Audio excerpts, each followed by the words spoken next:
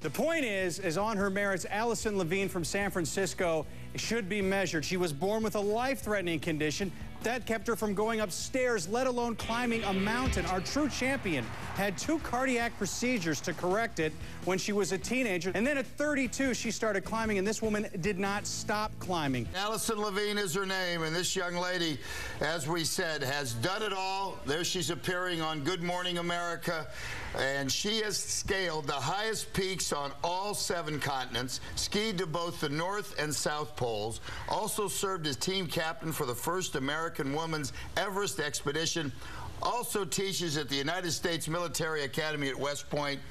If you want me to keep reading your credits, we won't have time to talk. Alison Levine is one of the few select Americans to complete the so-called Adventure Grand Slam. That is when you reach the highest peak on all seven continents and you ski both to the North and South Poles. You're talking hundreds of miles in grueling conditions. It's estimated fewer than 30 people have done what she has done. Wow.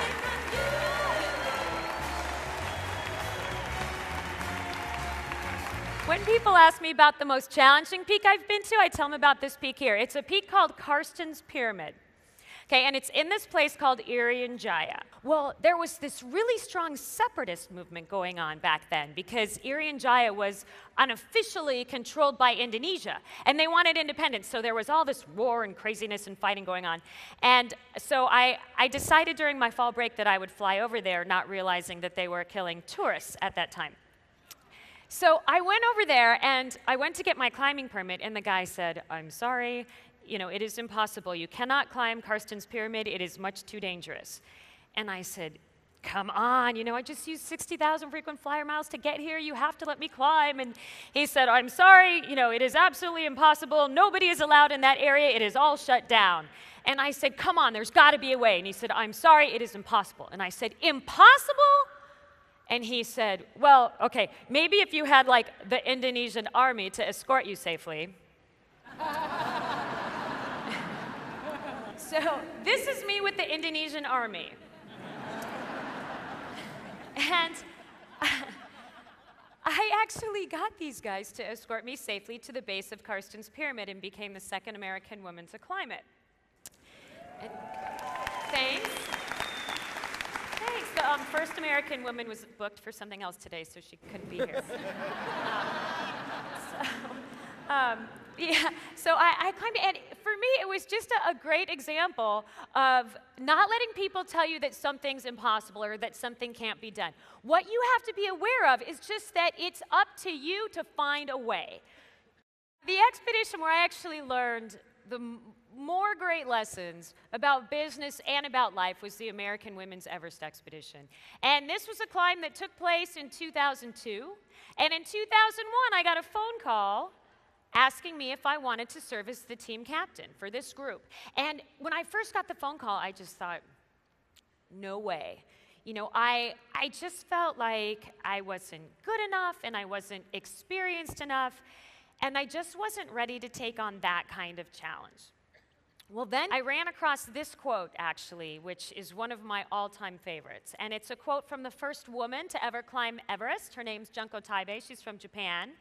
She reminds us that technique and ability alone aren't going to do it, right? It's willpower that plays a huge part of getting to the top. And I still felt like I didn't know if I had what it was going to take to get up that mountain.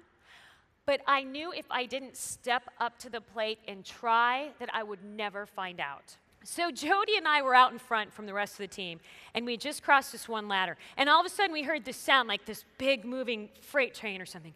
And so we, we turned around only to see 10,000 tons of ice. This massive ice wall was coming crashing down. And we absolutely freaked out. And we thought for sure we were going to get killed. We were going to get crushed by this big, you know, ice wall coming down.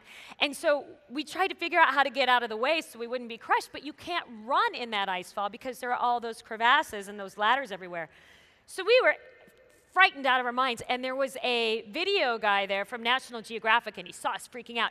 And he looked at us and he just said, Whoa, whoa, whoa, whoa, don't move, don't move, stay where you are, stay right where you are. So Jody and I just kind of hugged each other and stood there, and we were, you know, shaking and crying and hyperventilating. And the whole ice crumble came to a stop about four feet from us. That's how close we were to getting killed. It was really scary. Like clean up on aisle four, kind of scary. yeah. So the crazy thing is, we were so close to getting killed. So I look at the, uh, the video guy, and I look at him, and I said, Oh my gosh, how did you stay so calm? And he looked at me and said, Oh, I knew it was going to be okay. And I'm thinking, how could he know that, right? Because he was almost crushed in that ice fall, too. He came just as close to getting killed as we did.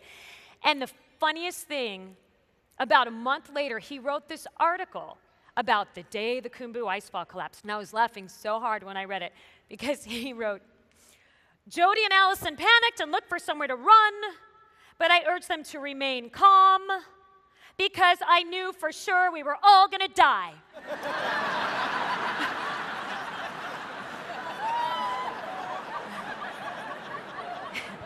and there was nothing anybody could do about it. If I have to kind of sum up all of the lessons I learned in the mountains on all of my climbs, this is really, I think, the image that represents that and that is ingrained in my mind. And the, the image you see there, that triangular shadow, that is the shadow of the summit of Mount Everest. And for me, that picture is just a reminder that there are always going to be more mountains to climb, right? You are never done climbing. But you have to get out there and challenge the peaks. And you have to be willing to weather the storms to really learn to appreciate this kind of view. Thank you so much for having me today. It was an absolute honor to be here. Thank you so much. Oh, thank you. Right back.